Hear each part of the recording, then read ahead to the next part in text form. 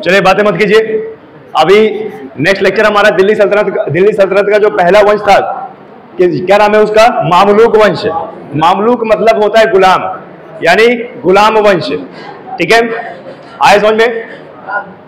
यहाँ पर बैठी लड़कियों से मेरा सभी से रिक्वेस्ट है कि इतनी बार बोलने के बाद भी अगर आप चुप नहीं हो रहे हैं तो हम अपना विकराल रूप धारण कर लेंगे, नरसिंह अवतार में आ जाएँगे, और उसके बाद तुम्हें दिक्कत हो जाएगी। है ना? चलिए। एक चीज़ आप सभी छात्रों को बता दें कि देखिए न्यूज़पेपर न्यूज़पेपर की जो हेडिंग है न्यूज़पेपर की जो हेडिंग है, उसमें ये आगाज़ हो गया है कि अप्रैल में, हो सकता है अप्रैल में उत्तर प्रदेश पुलिस पैंतीस हज़ार पद की प्रक्रिया शुरू हो जाए। ध्यान देना, मेरे शब्दों को ध्यान देना कि हो सकता है अप्रैल में पैंतीस हज़ार उत्तर प्रदेश पुलिस भर्ती के जो पद हैं, उसकी प्रक्रिया शुरू हो सकती है। ठीक है? तो जो भी छात्र, ध्यान देना थोड़ा सा इंफॉर्मेशन में ध्यान देना कि एक है कौन सा? एक पुरुष पक्ष है और एक क्या है? महिला पक्ष है, ठीक है? मिनिमम उम्र कितनी ली जाएगी? 18 यहाँ भी 18 ली जाएगी। और मिनिमम क्वालिफिकेशन कितनी? बारहवीं पास। महिला के लिए भी बारहवीं पास। और यहाँ पर पुरुषों के लिए हाइट ली जाएगी एक अड़सठ सेंटीमीटर और महिला के लिए हाइट ली जाएगी एक बावन सेंटीमीटर क्लियर है? ध्यान देना। उत्तर प्रदेश पुलिस वैकेंसी में लड़कों के लिए, लड़कों के लिए 18 साल, बारहवीं पास और एक अड़सठ सेंटीमीटर हाइट वही महिला के लिए भी 18 वर्ष, बारहवीं पास और एक बावन सेंटीमीटर हाइट ठीक है? अब यहाँ पर ध्यान दीजिएगा 18 से 22 साल उम्र। हो सकता है अभी, हो सकता है उम्र में छूट दी जाए, लेकिन ऐसा कोई प्रावधान अभी नहीं है। हो सकता है कि आपको उम्र में छूट दी जाए, लेकिन ऐसा कोई प्रावधान नहीं है है ना? तो अभी आप मान के चलना है कि 18 से 18 से 22 साल 18 से 22 साल जो जो बच्चे जनरल कैटेगरी के हैं 18 से 22 साल, ठीक है? 18 से 25 साल तक ओबीसी वाले कैंडिडेट और 18 से 25 साल तक एससी वाले कैंडिडेट ठीक है? ध्यान देना ओबीसी वाले छात्रों को पाँच वर्ष का, पाँच वर्ष का आप लोगों को छूट मिलेगी क्लियर है? एससी वर्ग के छात्रों के लिए भी पाँच वर्ष का छूट मिल रहा है, ठीक है? जनरल कैटेगरी को कोई आयु की छूट नहीं मिलेगी।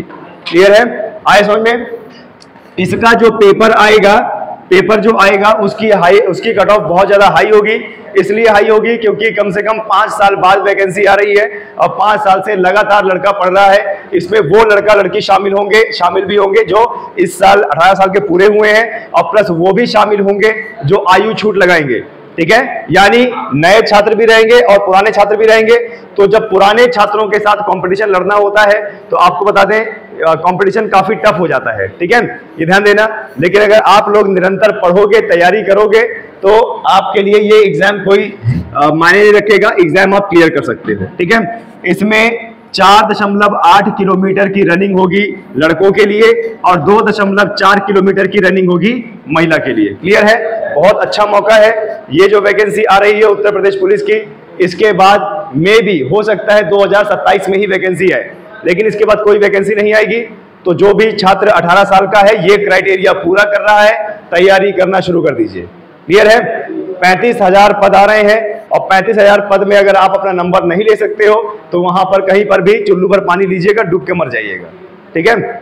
और स्वर्ग से फिर हमारी सनराइज करियर अकेडमी को देखिएगा। चलिए दिल्ली सल्तनत की हम बात कर रहे थे। दिल, दिल्ली सल्तनत को हमने कल शुरुआत किया था। और दिल्ली सल्तनत दिल्ली सल्तनत में कौन सा वंश हम पढ़ रहे थे? मामलूक वंश पढ़ रहे थे गुलाम वंश पढ़ रहे थे। और गुलाम वंश की गुलाम वंश के जो संस्थापक है कुतुबुद्दीन ऐबक थे। और कुतुबुद्दीन ऐबक किसका गुलाम था भाई? कुतुबुद्दीन ऐबक किसका गुलाम था? कुतुबुद्दीन गुलाम था मोहम्मद गौरी का।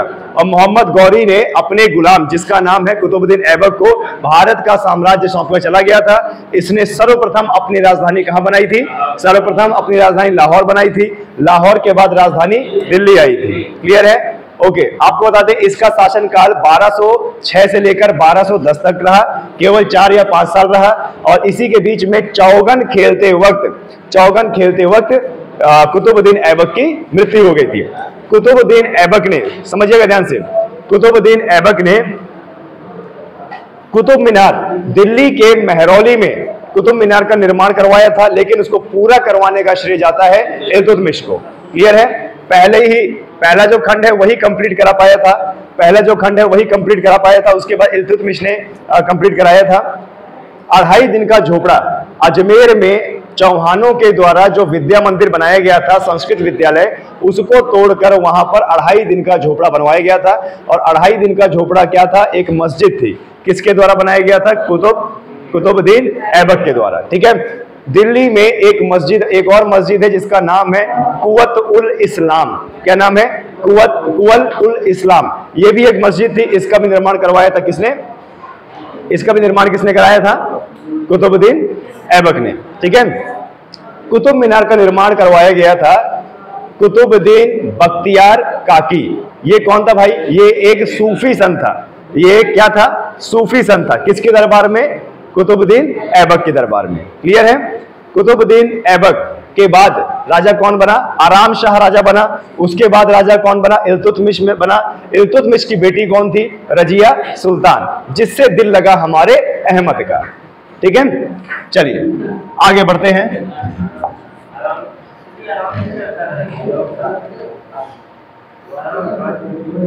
आराम शाह। ठीक है? कोई दिक्कत? चलिए तो अढ़ाई दिन के झोपड़े से आज की हम शुरुआत करते हैं क्लास की।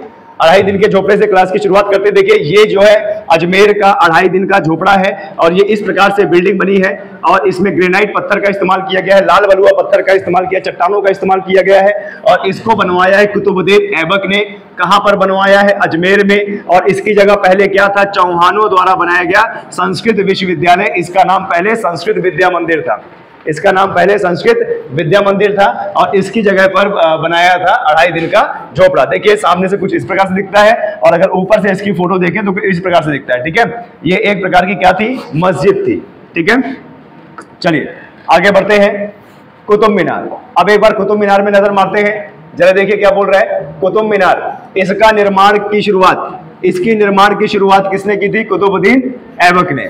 इसके निर्माण की शुरुआत किसने किया था? कुतुबुद्दीन ऐबक ने। मतलब पूरा नहीं कराया था शुरुआत कराया था ठीक है? इसका निर्माण की शुरुआत कुतुबुद्दीन ऐबक ने किया था तथा निर्माण कार्य को पूरा किसने किया था? इल्तुतमिश ने ठीक है? गुलाम वंश का गुलाम वंश का वास्तविक संस्थापक गुलाम वंश का वास्तविक संस्थापक किसको माना जाता है? इल्तुतमिश को। क्लियर है? ध्यान देना। ओके okay, आगे बढ़ते हैं। कुछ समय बाद इसकी ऊपरी इमारत क्षतिग्रस्त हो गई ठीक है? आपको बता दें, बहुत सारे तूफ़ान आए और बिजली कड़की, नतीजा ऊपर का जो इमारत थी, वो क्या है, टूट गई। टूटने के बाद फिर दोबारा इसकी मरम्मत कराई गई। क्लियर है? कुछ समय बाद इसकी ऊपरी इमारत क्षतिग्रस्त हो गई, जिसकी मरम्मत फिरोज शाह तुगलक ने करवाई थी और भूकंप के बाद इसकी कुछ मरम्मत सिकंदर लोधी ने भी कराई थी और कुतुब मीनार का नाम सूफी ख्वाजा कुतुबुद्दीन बख्तियार काकी के नाम पर रखा गया था। सूफी संत सूफी संत ख्वाजा कुतुबुद्दीन बख्तियार काकी के नाम पर। तो थोड़ा सा ये इंपॉर्टेंट है। काफ़ी बार एग्ज़ाम में पूछ लेता है। एग्ज़ाम में पूछ लेता है कि भाई किसकी याद में बनवाया गया था, ठीक है? एग्ज़ाम में पूछ लेता है कि किसकी याद में बनवाया गया था तो वो सूफी संत है, ठीक है? कुतुबुद्दीन बख्तियार काकी। और इसी वजह से इसका नाम बना क्या? कुतुब मीनार। यानी कुतुब कुतुबुद्दीन बख्तियार काकी, ठीक है? उसकी याद में। है ना? चलिए। आगे बढ़ते हैं। तो ये देखिए, कुछ फ़ोटो है। ये फ़ोटो है कुतुब मीनार की, ठीक है? जो कुतुबुद्दीन ऐबक था, जो कुतुबुद्दीन ऐबक था, उसने इतना ही खंड बनवा पाया था और उसके बाद इसने जो है इल्तुतमिश ने ऊपर तक इसको बनाया। और आपको बता दें, उस समय दिल्ली में भूकंप आते थे तो जो ऊपर का हिस्सा, वो हिलडुल के क्षतिग्रस्त हो गया था। नतीजा आगे चल के फिरोज शाह तुगलक ने इसकी मरम्मत करवाई और उसके बाद किसने लोधी वंश के शासक ने करवाई थी ठीक है? अब आपको बता दें इस कुतुब मीनार में इस कुतुब मीनार में जो कि इतनी बड़ी इमारत है ये लगभग कितना 245 फीट ऊँची है लगभग। अभी मेरे को पूरा एग्जैक्ट डेटा इसका नहीं पता है लेकिन लगभग 245 फीट ऊँची है। और आपको बता दें इसमें लाल बलुआ पत्थर का इस्तेमाल किया गया है। इसमें लाल बलुआ पत्थर का इस्तेमाल किया गया है और लाल बलु, बलुआ पत्थर का को मंगाया गया था राजस्थान से ठीक है? ध्यान देना। ये जो इमारत है, ये जो इमारत है, इस जहाँ से ये शुरू हुई है, वहीं से ही, वहीं से ही इसका जो पत्थर लगाए गए हैं। पत्थर में अच्छी खासी नक्काशी की गई है और कुतु और उर्दू भाषा में इसमें कुछ ना कुछ लिखा गया है। क्या लिखा गया है? हमें नहीं पता, लेकिन इसमें कुछ ना कुछ नक्काशी ज़रूर की गई है। और इसके हर खंड में, हर खंड में एक दरवाज़ा है, यानी कहीं ना कहीं इस कुतुब मीनार में अंदर से ऊपर जाने के लिए रास्ता रहा होगा, है ना? इसके हर खंड में एक दरवाज़ा है यानी ऊपर जाने के लिए कोई ना कोई रास्ता बना रहा होगा। फिर आपको बता दें देखिए एक इस आ, इस कुतुब मीनार के अंदर जाने के लिए कुछ ऐसे दरवाज़ा टाइप बनाया गया था वो भी पत्थरों का ही निर्माण था। आगे चल के बताएँगे कि किसने बनाया। सबसे मेन बात यह है कि जैसे ये कुतुब मीनार है ध्यान देना जैसे ये कुतुब मीनार है कुतुब मीनार के दाहिने हाथ में आप प्रवेश करेंगे तो यहाँ पर एक लौह स्तंभ गड़ा हुआ है। देखो ये है वो लौह स्तंभ। सम्राट अशोक द्वारा बनाया गया लौह स्तंभ जो कि मेरठ के आसपास से निकाला गया था। और मेरठ के आसपास से निकाला गया था और दिल्ली में लाया गया और दिल्ली में कुतुब मीनार के दाहिने हाथ में इसको रखा गया। अब आप देख लीजिए, तुलना कर लीजिए। देखिए, ये है हमारी विदेशी पर्यटक और विदेशी पर्यटक की हाइट ये है और ये लौह स्तंभ की हाइट ये है। तो अब अंदाज़ा लगा लीजिए कि ये लौह स्तंभ कितना ऊँचा है। इससे भी ऊँचा है है ना? और देख लीजिए ये जो लौह स्तंभ है, ये किस प्रकार से बना करते थे? ये इसकी हाइट हुआ करती थी एक बराबर, और ऊपर ऊपर फूल जैसा बना रहा करता था, और फूल के बाद कुछ नक्काशी हुआ करती थी, और नक्काशी के बाद ये जो पिलर है, इसको मैं थोड़ा सा बड़ा कर देता हूँ।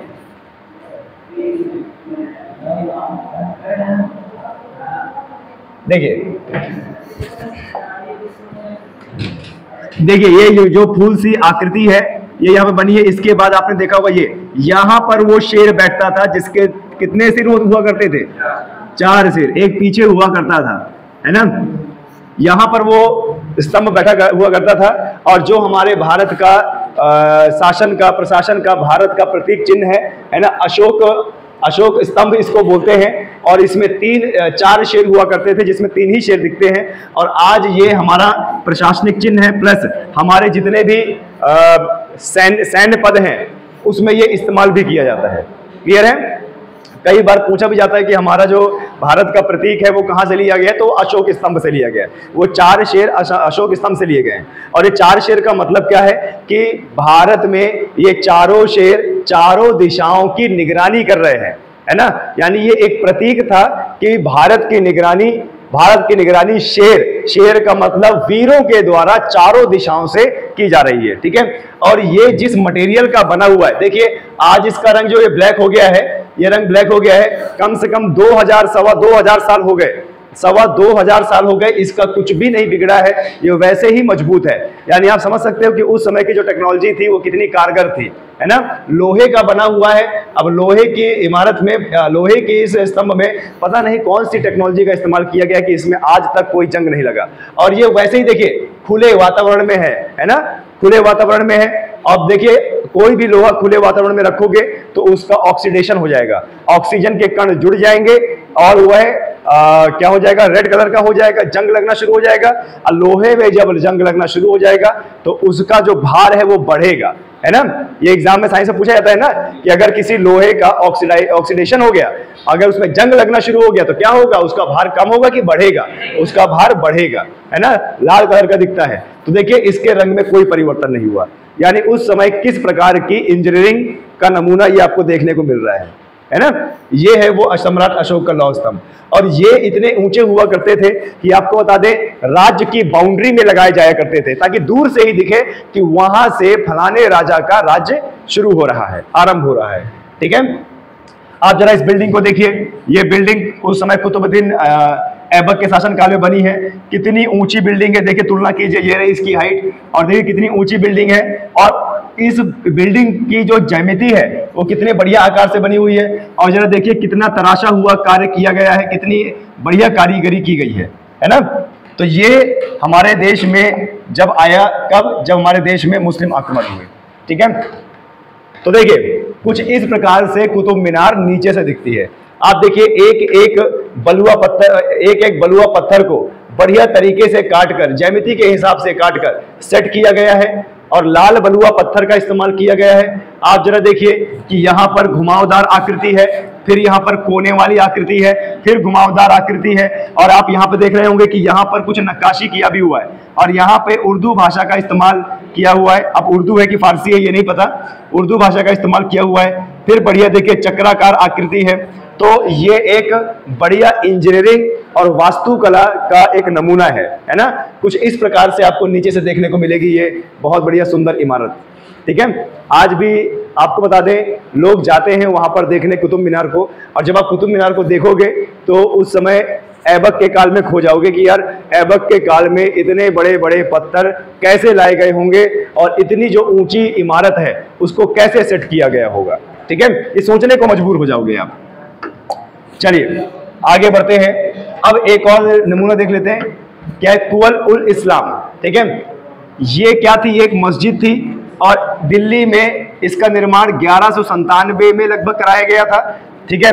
अब जरा देखिए, ये है वो लौह स्तंभ। ये यहाँ पर मैंने फ़ोटो लगाई है। जरा लौह स्तंभ को देखिए, ये वो गेट है और ये वो लौह स्तंभ है। दिख रहा है ना आप लोगों को? सम्राट अशोक का लौह स्तंभ है। ये महरौली का है। ये महरौली का है। ये कुवल उल इस्लाम, ये रही। ये भी एक मस्जिद थी, कुवल उल इस्लाम। देखिए किस तरीके से बड़े बड़े पत्थरों का इस्तेमाल किया गया है। जहाँ पर बड़े पत्थर का इस्तेमाल हुआ है, वहाँ बड़े पत्थर किए गए हैं। जहाँ छोटे का ज़रूरत पड़ी, वहाँ छोटा भी किया गया है। है ना? आज की इंजीनियरिंग इस प्रकार की इंजीनियरिंग देखने को नहीं मिलती है। क्यों? आजकल कंप्यूटर का जमाना है। ठीक है? तो यहाँ पर थोड़ा सा आपको देख, देखना है कि कुवल उल इस्लाम की जो मस्जिद है, उसका निर्माण कुतुबुद्दीन ऐबक के शासनकाल में ही हुआ है। ठीक है? चलिए, आगे बढ़ते हैं। अब उपाधियाँ।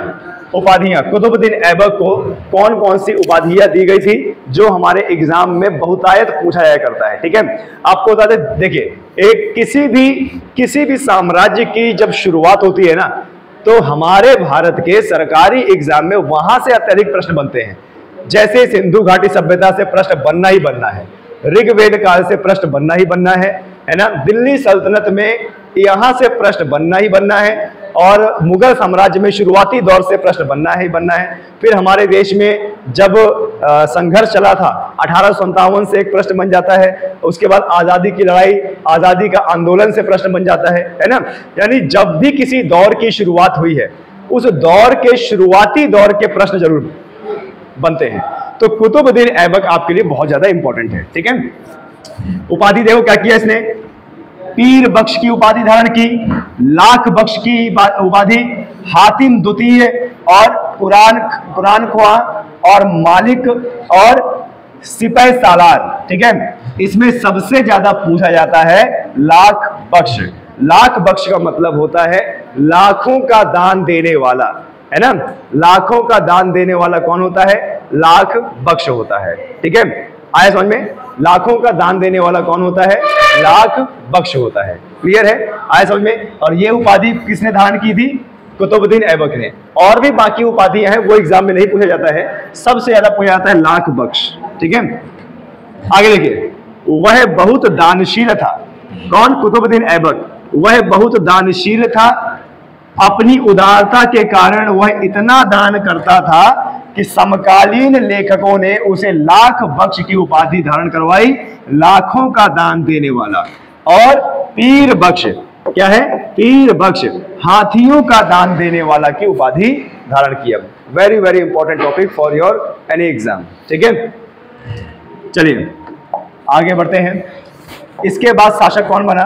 कुतुबुद्दीन ऐबक। देखिए, कुतुबुद्दीन ऐबक की जो मृत्यु है, कुतुबुद्दीन ऐबक की मृत्यु चौगन खेलते वक्त हुई थी। चौगन खेलते वक्त, ठीक है? चौगन, आपको बताया, पोलो है, घोड़े में चढ़कर और स्टिक से एक गेंद को इधर, इस पाले से उस पाले किया जाता है है ना? वो खेलते वक्त इसकी मृत्यु हो गई थी और मृत्यु होने के बाद, आपको बता दें, जो अगला शासक बना, वो था आराम शाह। ये आठ या नौ महीने ही शासक बन पाया, इसके बाद शासक कौन आया? इल्तुतमिश। और गुलाम वंश की वास्तविक स्थापना उसी ने किया था।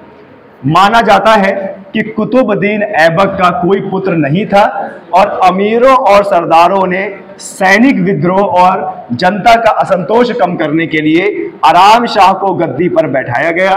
यह एक कमज़ोर शासक था जिसको हटाने के लिए बदायूं के प्रांत शासक इल्तुतमिश को निमंत्रण भेजा गया और इल्तुतमिश ने आठ माह के आराम शाह के शासन को आराम से हटा दिया और आराम से हटाने के बाद आराम शाह का शासन आराम से हटा दिया उसके बाद खुद गद्दी पर बैठा और गुलाम वंश को व्यवस्थित तरीके से चलाने की कोशिश किया।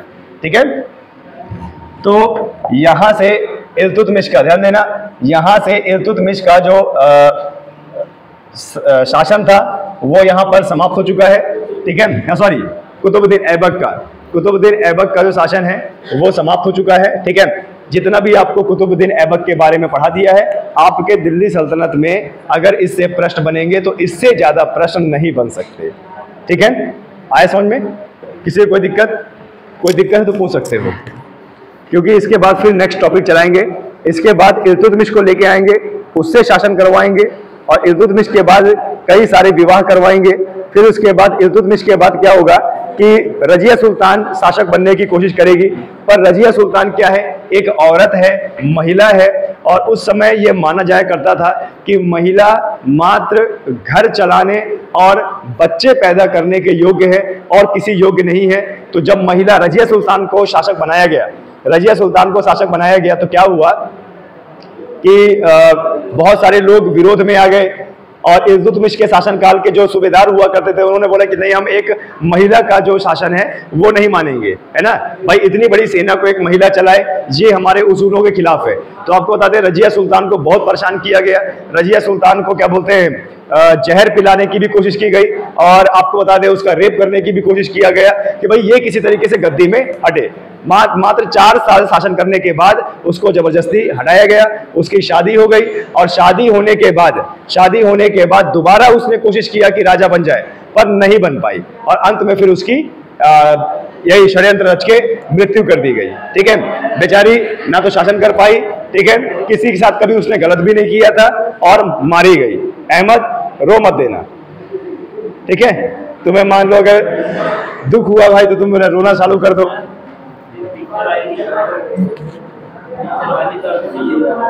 क्या? उसका मुझे पता नहीं है मैं फ़िल्म देखता नहीं हूँ।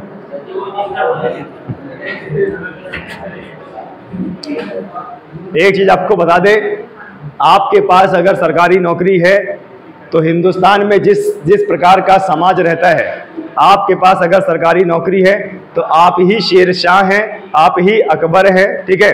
ध्यान दीजिएगा। आप ही अमीर खुसरो हैं, एक से एक लड़की वाले, ठीक है? आपको रजिया सुल्तान देंगे। लेकिन कंडीशन क्या है? कंडीशन क्या है कि सरकारी दामाद बनना है, ठीक है? हमारा जो समाज है वो इस प्रकार की भावना रखता है कि प्राइवेट नौकरी करके अगर आप लाखों भी कमा लो तो भी बहुत ज़्यादा कम है। लड़का, लड़के का, लड़की का बाप कभी आपको लड़की नहीं देगा। और सरकारी नौकरी में आप अगर एक चपरासी भी बन जाओ तो आपको बताते हैं आपकी बहुत इज़्ज़त होगी। साक्षात एकदम राजकुंवर मिल गए। ताज, हमारी बिटिया को ताजमहल बनाने वाले शाहजहां मिल गए। ऐसा होता है। ठीक है?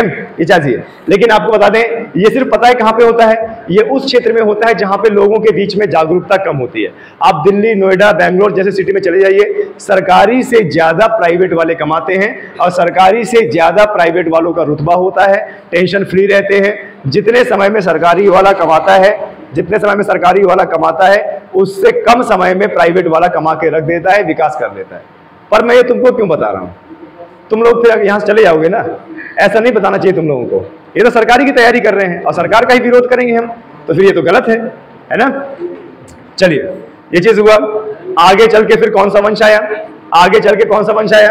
आगे चल के खिलजी वंश आया, ठीक है? उसके बाद तुगलक वंश आया, उसके बाद सैयद वंश आया, उसके बाद लोधी वंश आया। लोधी वंश का जो अंत जो अंतिम शासक था, जिसका नाम है इब्राहिम लोधी। इब्राहिम लोधी का युद्ध हुआ तो इब्राहिम लोधी का युद्ध हुआ किसके साथ में? बाबर के साथ में, ठीक है? और आपको बता दें, ये जो बाबर था ना, बाबर मिश्रित जनजाति था, मिश्रित वंश का था। और मिश्रित वंश का मतलब इसकी माँ कहाँ की थी? तुर्क की। और इसके पिता कहाँ के थे? मंगोल के। तो दोनों का मिश्रित जनजाति का ये था। हाँ जो भी है, अब ये माता कहाँ की थी ये नहीं, लेकिन हाँ मंगोल और तुर्क का मिश्रण है कौन? बाबर। बाबर ने पानीपत का प्रथम युद्ध में इब्राहिम लोधी को हराया। और आपको बता दें, इब्राहिम लोधी नहीं हारता। इब्राहिम लोधी नहीं हारता। उसको, उसके किसी करीबी ने ही, उसको किसी, उसको, उसके करीबी ने ही धोखा दिया और बाबर को निमंत्रण दिया कि आओ, लड़ो पंजाब का कोई राजा था, मुस्लिम ही था और इब्राहिम लोधी का करीबी था, उसने बाबर को निमंत्रण दिया कि भाई इसकी सेना ऐसी है, इसकी सेना में इतने जवान हैं, इतने हाथी, इतने घोड़े, इतने रथ हैं, आप आओ, आक्रमण करो। आपको बता दे दोस्त, आपका कोई करीबी ही आपका, आपके पीछे खंजर लेके घूमता है। इसीलिए आपका नेक्स्ट मूव क्या होना चाहिए? आपका अगला कदम क्या होना चाहिए? ये सिर्फ़ आपके सिवा किसी को पता नहीं होना चाहिए। क्लियर है? और एक चीज़ और ध्यान देना, जो व्यक्ति आपके दुख में नहीं है। जो व्यक्ति आपकी दुख के परिस्थिति में नहीं है, उसको कोई अधिकार नहीं है आपके सुख की परिस्थिति में होने का। ये ध्यान रखना एक चीज़, ठीक है? अगर आपके कोई दुख में नहीं है तो उसको कोई अधिकार नहीं है आपके सुख में। खैर, आपको एक चीज़ और बता दें। ध्यान देना कि आपको बनाने वाले बहुत कम होंगे। बनाने वाले आपको बहुत कम होंगे। बिगाड़ने वाले हज़ार हो जाएँगे। है ना? इसलिए कभी भी कुछ कीजिए। खुद के दम पे कीजिए। मेहनत कीजिए। और खुद के दम पे आदमी क्या कर सकता है? मेहनत ही कर सकता है। और मेहनत ही आपकी रंग लाएगी ध्यान दीजिएगा। और कभी किसी का एहसान लेने की ज़रूरत मत कीजिए। ये भगवान ने मनुष्य को इतना सटीक बनाया है कि ये अपने दम पर भी बहुत कुछ कर सकता है। क्लियर है? ध्यान दीजिएगा।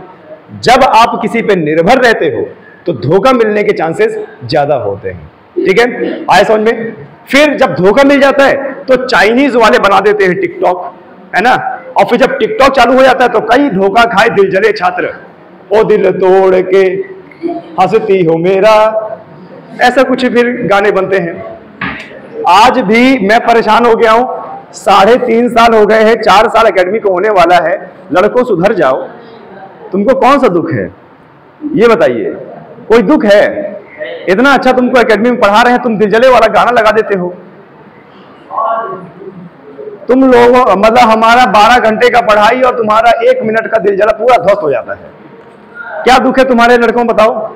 लड़कियों की हम बात नहीं करते, तुम्हारी बात करेंगे। कोई किसी को दुख है? क्यों? अशोक, अनिल। परेशान मत हो, तुम्हारा स्टेटस नहीं देखा मैंने। जिसका देखा वो आया ही नहीं है। ठीक है? कोई दुख है? मूड ऑफ़ क्यों करते हो भाई? ये बताइए मूड ऑफ़ क्यों करते हो? एक बार उसका फ़ोन आ जाए कॉल आ ये क्या मतलब होता है? क्यों आ जाए फ़ोन? नहीं आएगा रिचार्ज नहीं होगा, फिर कैसे करेगी? ये बताइए। यार, हमारे पास उत्तर प्रदेश पुलिस वैकेंसी आ गया। आर्मी की ऑलरेडी तैयारी चल रही है। सुपर टेट भी आने वाला है। यहाँ हम तोड़वा रहे हैं अपने। बताइए। सुधर जाओ। नहीं तो तुम्हारे तुम्हारे स्टेटस और तुम्हारे नाम के साथ में डाउनलोड करके मैं लगाऊँगा अपने स्टेटस में। और तुम्हें एक चीज़ बता दूँ? तुम्हारे स्टेटस देखते होंगे कम से कम बहुत खींच के तो दो सौ, ढाई सौ, तीन सौ लोग। मेरे स्टेटस कम से कम हज़ार पंद्रह सौ लोग देखते हैं, हज़ार पंद्रह सौ लोग। जैसे ही स्टेटस डालता हूँ ना, एक सेकंड दो सेकंड के अंदर कम से कम सौ, दो सौ हो जाता है। ध्यान दीजिएगा। तो ये ये खराब आदत मत करो दिलजले मत बनो अभी। दिलजले बनना है, इसमें बनो। ये ये जो हमारा सिलेबस है, इसकी इसकी तैयारी कीजिए, इसका दुख कीजिए कि कब खत्म होगा सिलेबस है ना? ये चीज़ है। एक कहावत आपने सुनी होगी दोस्त, चार दिन की चांदनी और फिर अंधेरी रात है। तो ये स्टेटस वगैरह मत डाला करो। इनका स्टेटस देख के मेरे आँख में आँसू आ जाते हैं। अरे दादा, कितना दुख है रे इनको, है ना? चलने तो क्या हो गया? बंद कर दो। इन लोगों का दुख देख के मेरे आँख में आँसू रहते हैं। अब साक्षात गौतम बुद्ध भगवान को जन्म लेना चाहिए धरती में।